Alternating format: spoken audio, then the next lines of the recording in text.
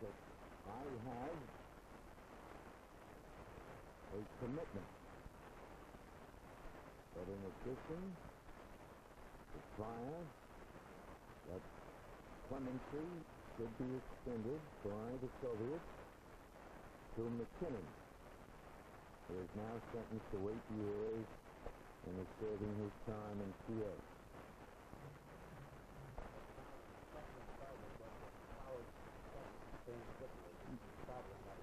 We, uh, there were four of us who came over together. Well, you always said you're speaking of Russia. I want Carlos to look for himself.